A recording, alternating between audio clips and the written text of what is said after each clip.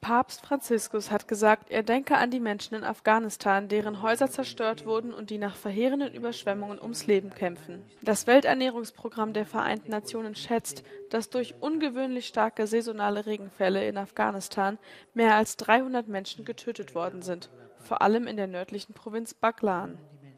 Bei seiner wöchentlichen Audienz auf dem Petersplatz forderte der Pontifex die Gläubigen auf, gemeinsam mit ihm für den Frieden in der Ukraine zu beten und fügte hinzu: Lasst uns Palästina und Israel nicht vergessen